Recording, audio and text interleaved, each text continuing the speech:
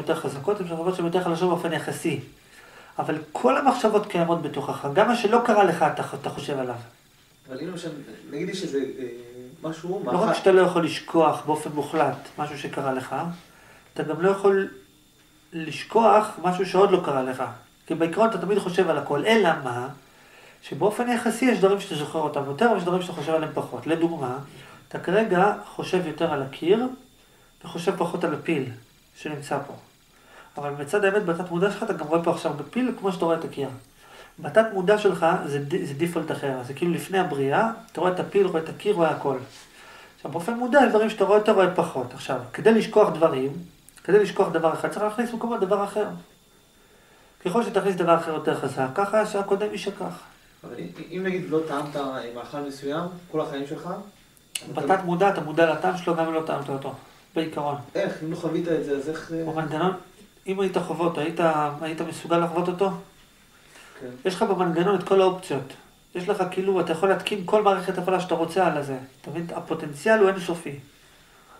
לא, לא, לא. אני אומר בעיקרון, במנגנון שלך יש מראש את כל האינפורמציה הקיימת. אתה, אתה שנולדת, נולדת, איזה, איזה, איזה שפה ידעת לדבר? שנולדת? כלום. עכשיו, כשנולדת ידעת לדבר סינית? אתה יודע לדבר סינית? אוקיי, כשנולדת ידעת לדבר יותר סינית או יותר עברית? תודה. אוקיי, איך אתה עכשיו, אם הוא היית גודל בסינית, אתה יודע לדבר סינית. רוב הסיכויים שכן, נכון? נולדת בישראל, אתה יודע לדבר עברית. עכשיו, מה זה אומר? שנולדת עם האופציה לדעת עברית או סינית? בתת מודע שלך, אתה גם יודע לדבר פורטוגזית, אתה יודע לדבר הכל. אלא מה? שלא מימשת את האופציה הזאת. כן, אבל... אמת או לא אמת? אמת. אתה לא יכול להגיד, לא נכון, אני יודע לדבר רק עברית. לא נכון. כשנולדת, ידעת לדבר יותר עברית מסינית. אבל אני רוצה את המהלך ההפוך. אני- נגיד, אתה למדת כבר סינית. אתה רוצה לשכוח את הסינית. אתה מבין, זה מפריע לך. כמו שהוא אמר, זה מפריע לך, אתה רוצה לשכוח אני את זה. מסביר לך, אבל פה אני מחדד לך את הדבר. לשכוח באופן מוחלט אין אפשרות. למה? כי לא רק שאתה לא יכול לשכוח באופן מוחלט, אפילו דברים שעוד לא קרו אתה לא יכול לא לחשוב עליהם באופן מוחלט. לא רק שמשהו שקרה, או משהו שהתרגלת לחשוב, אתה לא יכול להתנתק ממנו באופן מוחלט, אלא אם כן אתה הולך להם שכל, בסדר? שם זה משהו אחר. אבל לא רק שאתה לא יכול משהו שאתה רגיל לחשוב אותו, להתנתק ממנו באופן מוחלט, אלא אפילו משהו שאתה לא חשבת אותו, אתה רק חושב שאתה לא חושב אותו. בתת מודע שלך אתה גם חושב את מה שאתה עוד לא חושב. אלא מה? עכשיו שבאופן יחסי, יש דברים שאתה רגיל לעשות, ויש דברים שאתה לא רגיל לעשות, דברים שאתה אוהב, יש דברים שאתה שונא. וזה באופן יחסי ברמה החיצונית. וברמה החיצונית, איך מנווטים מדבר לדבר? על ידי שמעצימים את הצד ההפוך. באופן יחסי יותר. האם זה באופן מוחלט? לא. האם באופן יחסי? כן. זאת אומרת, אם יש משהו שאתה רוצה לשכוח אותו, אתה פשוט צריך לחפור לעצמך את ההפך שלו. זה משהו כמותי, אם יש בתוך הכוס מיץ, אתה רוצה שיהיה בה משהו אחר, תכניס הרבה משהו אחר, לא יהיה מיץ. האם כשתכניס את המשהו האחר, זה יגרום לכך שלא תוכל יותר להכניס מיץ? לא, אתה תמיד יכול עוד פעם להכניס את המיץ. אבל אף על פי כן, אם אתה רוצה שברגע נתון לא מיץ, פשוט תכניס הרבה משהו אחר. תמיד הכוונה. זאת אומרת, אתה תמיד תוכל להמשיך לחזור, לחשוב כמו שחשבת פעם. אבל אם אתה רוצה ברגע נתון לא לחשוב כמו פעם, אתה צריך באופן אינטנסיבי להכניס לראש שלך את ההפך של מה שאתה חושב. אתה מבין? כן, אבל... אה, לא לכל דבר יש ההפך. כאילו, מבחינה של... נכון, אתה צודק, הלך עליך. למה? מה אמרת?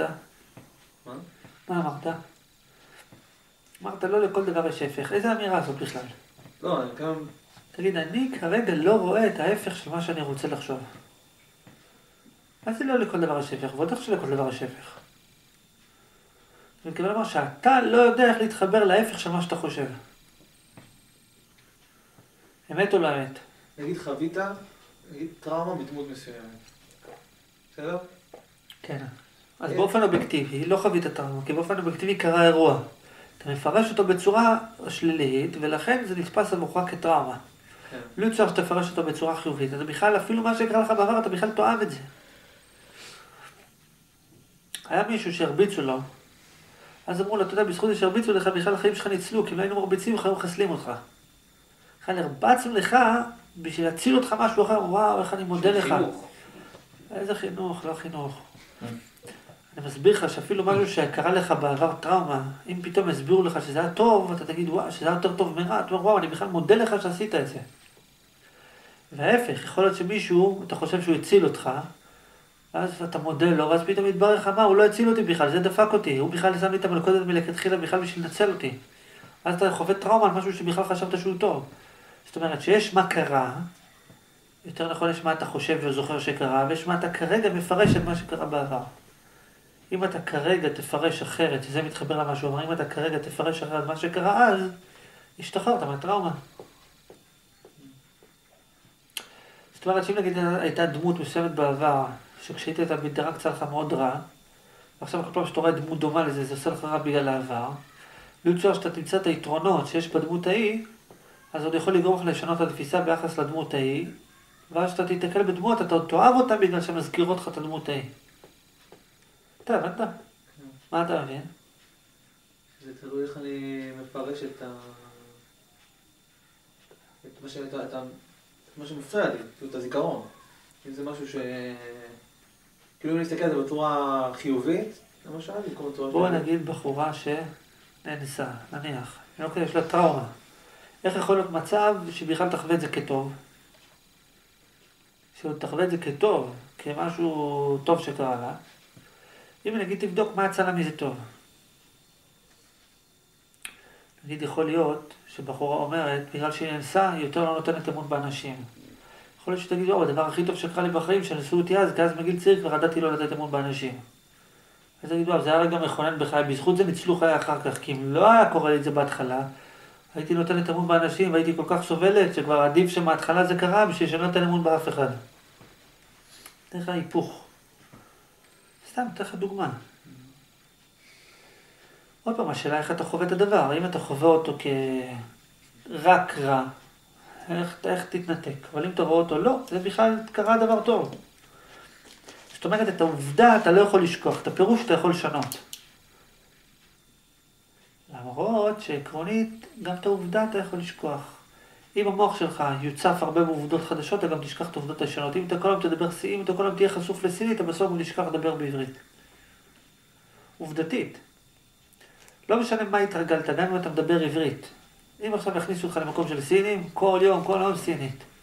אתה בסוף תתבלבל בלדבר בעברית, ואם תהיה מספיק זמן, אתה גם לא תדע לדבר בעברית. זאת אומרת, אם, זאת אומרת, אפילו ברמת עובדות, אני אסביר לכם משהו. אם נגיד היו זוג שרבו, ועכשיו אומרים, איך אנחנו יכולים להמשיך? רבנו כל כך הרבה. יש פה שתי דרכי מילוט. אחד, בואו תנסו לפרש שונה את המריבות של העבר. כאילו, במקום, במקום שזה זיכרון רע, תפרשו את זה לטוב. למה רבנו? כי אהבנו בכלל. Mm-hmm. כל פעם שיקפוץ לכם, כן, אבל רבנו? לא, זה בכלל היה מרוב העבר רבנו. אבל דבר נוסף, ככל שיהיה ביניכם יותר שלום, ככה אתם, המוח ישכח את המריבות. זאת אומרת, יש פה שתי שיטות. אחד, לפרש את, את, את העבר בטוב, בטוב באופן יחסי. שתיים, ברגע שהמוח שלך מוצף בעובדות חדשות, אני אתן לך דוגמא, נגיד שפעם הכרת מישהי שהייתה נראית בצורה מסוימת ושנאת אותה. עכשיו אתה מכיר עוד מישהי שהיא נראית באותה צורה ואתה שונא אותה גם כן כי היא מזכירה לך את ההיא. יכול להיות מצב הפוך, שאתה כל כך תהיה עם ההיא, עם החדשה, ותתאהב בה עד כדי כך שכשאתה תראה את הקודמת, אתה אפילו תאהב גם אותה בגלל שהיא מזכירה לך את החדשה. אתה הבנת מה אמרתי עכשיו?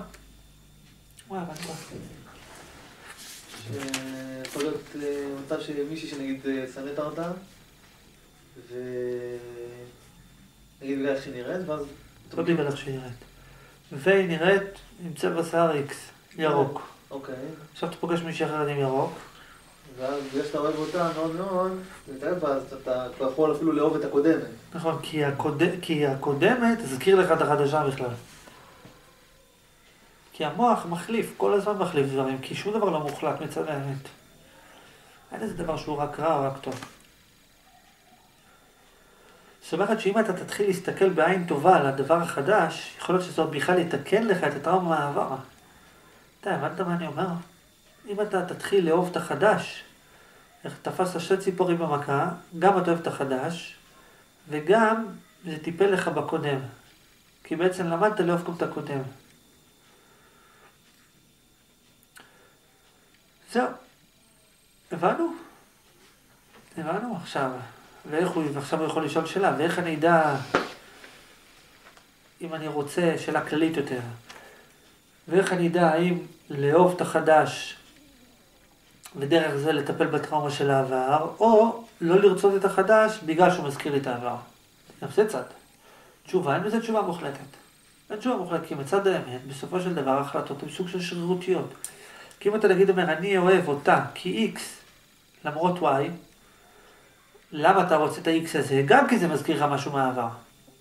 נגיד שיש מישהי שהיא חכמה,